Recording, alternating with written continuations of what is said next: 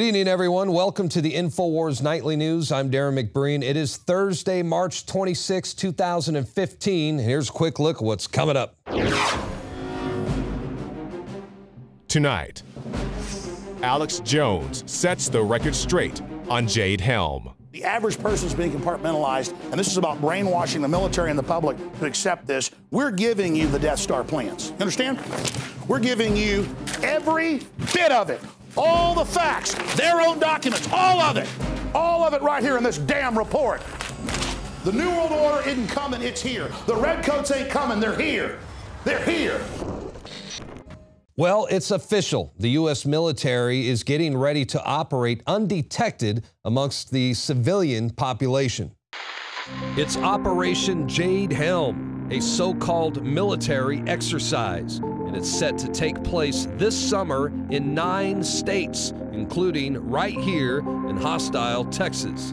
It will involve the Green Berets, the Navy SEALs, and the 82nd Airborne. The Houston Chronicle is reporting that these soldiers will attempt to blend in with the population in an effort to test the effectiveness of their infiltration techniques. And residents will be asked to report suspicious activity during the exercise.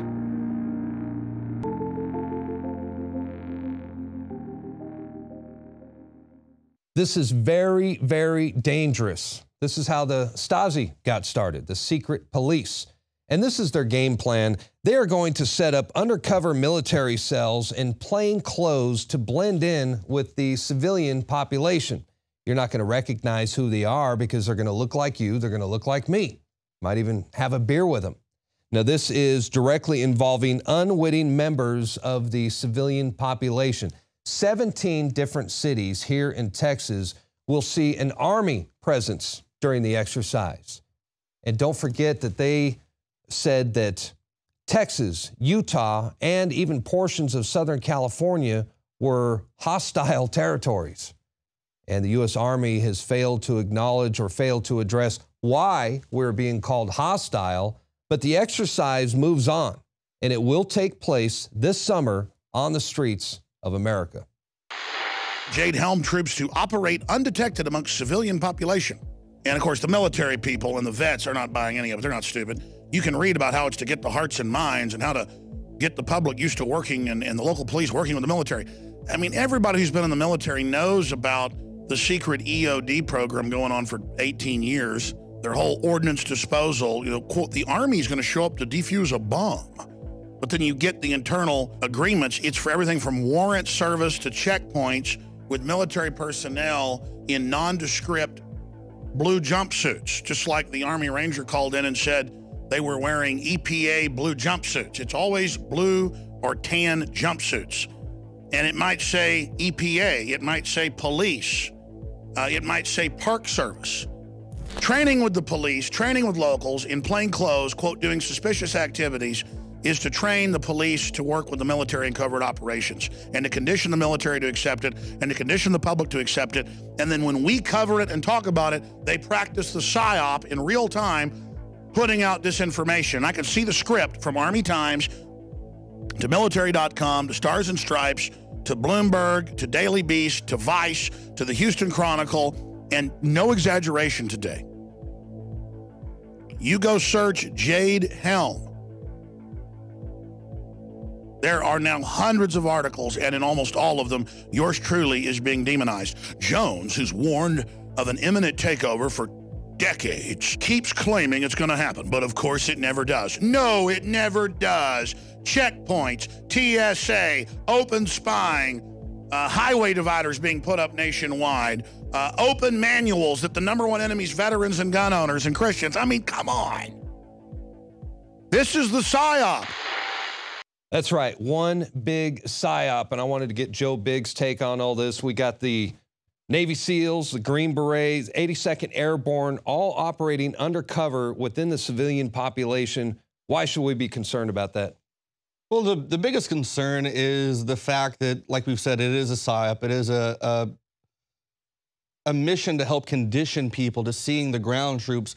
But this, one of the scary things about it is, in Texas, a lot of people are going to be armed, regardless of the fact if if we hadn't spoken about this, this might not be as big as it is. We probably help save lives by doing this because just imagine being at home and hearing helicopters flying overhead and rounds being shot off, doors being kicked in. People are going to are going to grab their guns and do the the normal. And they're already warning people that that's what they could expect. Yeah. They're going to say they're going to hear loud noises. They're going to see suspicious activity. They're asking uh, civilians to report suspicious activity. And we're taking a lot of heat for this, just for reporting all, all this. You, in particular, they're really attacking you. The Stars and Stripes, mainstream media, the U.S. Army, just for reporting on this. I want to read to you a little bit what the Houston Chronicle said.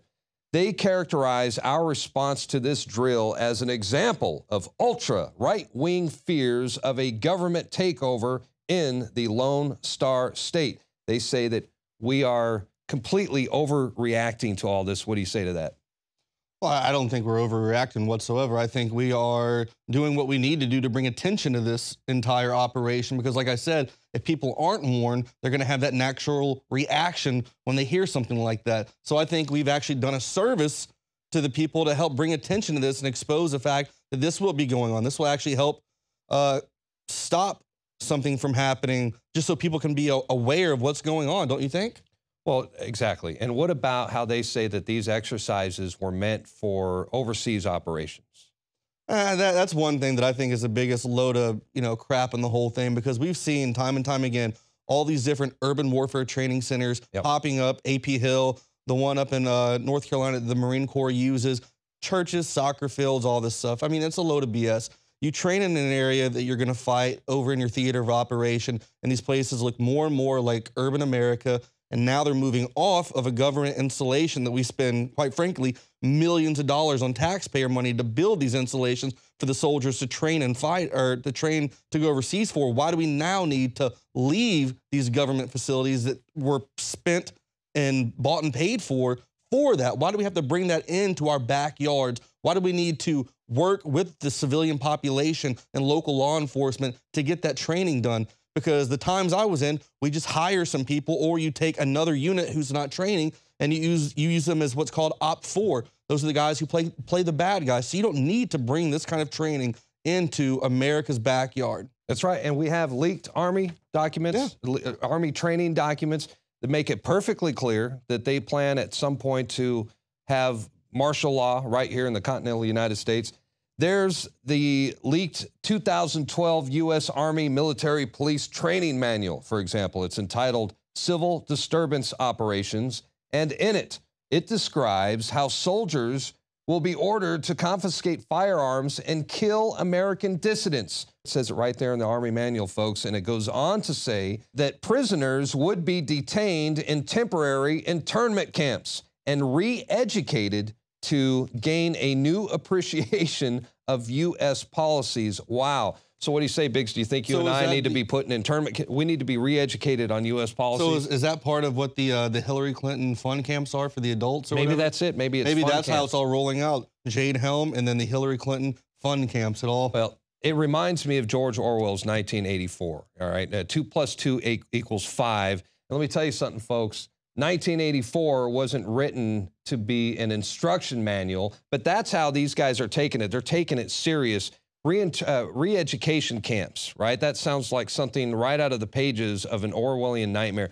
Do you think that they're really prepared to go through something like this? Well, they do re-education camps in a sense in the U.S. Army. When you fail to obey their orders, you decide to think outside the box and actually be a human being who makes his own decisions you will be removed from a training facility and then taken to a re-education type uh, tent where they kind of hammer down these basics about how you don't need to be thinking, uh, just listen to what you're told, react to what we say, and do that. So that's a lot of things that they use in training in the military already. So I don't see how it would be that difficult for them to in turn use that on the civilian population. Well, it doesn't sound like any kind of fun. And we're going to have more on Operation Jade Helm Later in the broadcast, Alex Jones is filing a report. You're going to see that later at the end of the broadcast. But right now, I want to switch gears a little bit and talk about, I almost called him Sergeant.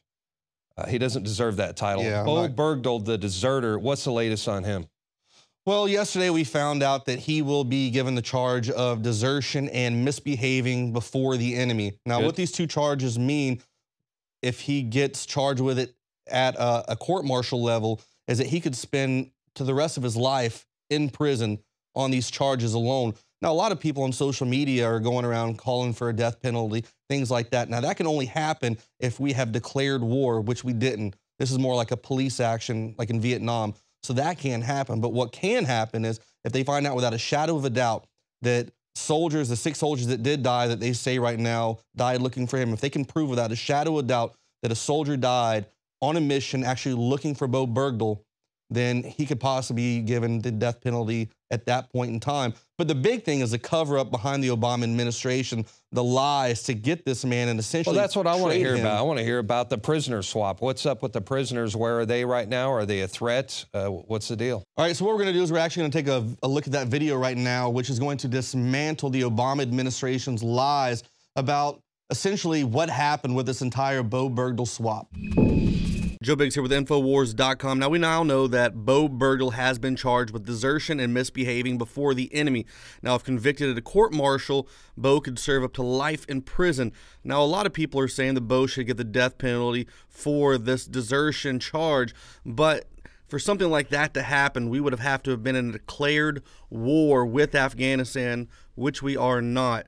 Now, there is a possibility that Bowe could get the death penalty if he is deemed responsible for the loss of life in uh, one of the six soldiers who died uh, while supposedly looking for Bowe Bergdahl for a long period of time. So until that is proven without, you know, beyond a shadow of a doubt, then that won't happen. But if something like that does get proven, and there is proof that a soldier did lose his life while on a mission that was specifically looking for Bowe Bergdahl, then he could possibly face a death penalty. He was looking for someone who spoke English so he could talk to the Taliban. And when we heard that, it told us, okay, he's actively seeking out the Taliban. Over the next couple months, uh, all the attacks definitely were far more directed. Following his disappearance, IED started going off directly under the trucks. They were getting perfect hits every time. Their ambushes were very calculated, very methodical, like they knew what we were going to do. Now, the big question, though, is should President Obama be blamed for this? And the answer, quite frankly, is yes. He should be blamed for this. Why did they make the soldiers in Bergdahl's unit sign these non disclosure agreements if he was a hero? If there was nothing to hide about this? This is another Obama deception you and lots of other soldiers signed a non-disclosure agreement uh, with the military. I've really never heard of anything like this happening on such a widespread scale uh, for regular Joes uh, as opposed to special forces. Um, are you worried now that the military is going to try to punish you for talking? I mean, uh, it's certainly a possibility, um, but I don't think that I could have uh, continue to go on uh, without being able to share with you and uh, you know the people uh, the true things that happen in this uh, situation. Because if you guys aren't made aware of it, um, it, will just go on. He'll be a hero, and, and nobody's going to be able to know the truth. I mean, you mean to tell me that this entire time while they were making this trade with five top Taliban insurgents for Bowe Bergdahl, that the president didn't have any ounce of a clue about Bowe's past and his mishaps in his unit, the times that he's tried to leave, the things that he said. We heard from our interpreter that the American that was walking around in the Afghan village looking for somebody that spoke English and water also wanted to seek out the Taliban. Because I find that very hard to believe, seeing that in June of 2012, Michael Hastings had come to that exact same conclusion that Bowe was acting that way, that he was a very young, confused man. In his Rolling Stone article, America's Last Prisoner of War. I think this is the most significant and undercovered story about the war in Afghanistan from an American perspective. It's a story about the only prisoner of war. Under normal circumstances, uh, he would be a cause celebre everywhere. But because of the nature of why he left and why he and how he got captured, he, has been sort of buried. The Pentagon has intentionally sort of buried his case for, for a variety of reasons. I just think it's a little shady that the president is going to act like he didn't know that and he made these decisions based off the fact that